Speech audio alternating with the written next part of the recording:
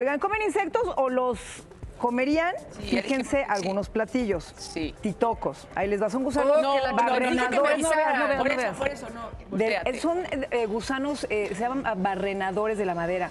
También llamados canalejos. Parece se sopa comen de tortilla. tostados en el comal o preparados en caldo con epazote, hoja de aguacate y granos de maíz tierno.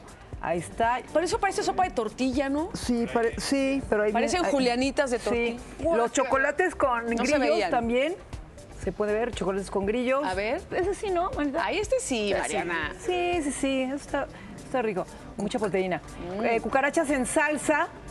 Fíjense que No, los cucaracha, ay sí. No, saca. No, no, no, no, eso sí, no, eso sí no. Estos son los manglares de Tabasco, vive una especie local, se comen asadas en comal y en tacos salpicados de cualquier salsa.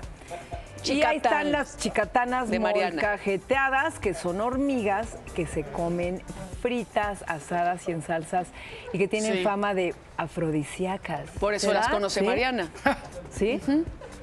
Luego los insectos, a ver, se comen en tamales, pizzas, tacos. voltees, Mariana. Bebidas como el Es- mezcal y en una variedad infinita. Mira, el escorpión, de ¿ves cómo se escorpión? ¿Cuál? No, los, no, yo te dije los de Tepoztlán. ¿De qué tamaño son? Los de Tepoztlán. ¿De qué tamaño? Escorpión. El Sí, alacrán es ¿cómo se- chiquito, chiquitín. No, no, Así.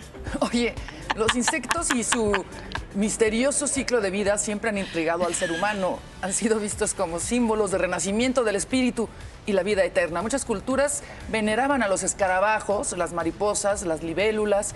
Otros formaban parte de la literatura y eh, los relatos humanos tradicionales, como las fábulas, donde resaltan cualidades como el trabajo abnegado de las hormigas, la cigarra. Ah, no, la cigarra era que era una huevona y la hormiga era Ajá. así. Eh, las abejas, la música y la sabiduría de los grillos o la vanidad de la mariposa han sido usados en novelas como La Metamorfosis de Kafka, en el que el protagonista despierta un día y está convertido en un escarabajo. En ese momento, eh, ¿qué? Perdón. Ese ¿Qué? fenómeno- ¿Quién me habló? Perdón, discúlpenme. Es- este fenómeno de incluirlo en nuestro entorno cultural y artístico se llama entomología cultural. ¿Y quién no sabe o ha sentido la famosa cucaracha? O cantado, sentido, personalizado, disfrazado se de la cucaracha. Desde Louis Armstrong y los lobos hasta lo- los Gypsy Kings han cantado.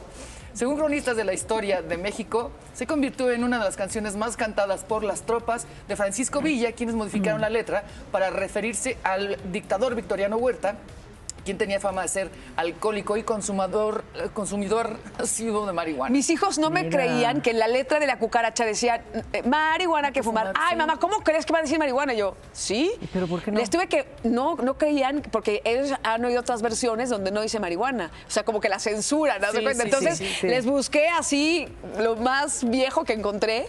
Uy, sí es cierto. Panchito. Panchito no vino. Y Pancho me dijo, está la letra. Ay. ya sabes, en piedra y cincel, así me, me- me la pasó. Ay, no, ¿cómo son, güey? No se puede poner la Ay, ¿cómo son? Dice No se puede, porque ya se nos desapareció el pronter. No podemos ver la cucaracha mientras. O sentirla como Mariana. Pero ella la siente, o sea, es que sí. es algo muy nuestro. Es que es, Muy conmovedor, es conmovedora la letra. Sí, por o sea, si no te pega aquí, es, está La muy cucaracha. Oye, pero es de dominio popular. O sea, porque si no, imagínate las regalías Sí, de claro. alguien que, que hubiera tenido la autoría de la cucaracha, pero es dominio popular, entonces, pues no. No, alguien se O quedó sea, no hay autor. No, no, no, No hay es autor. Panchito.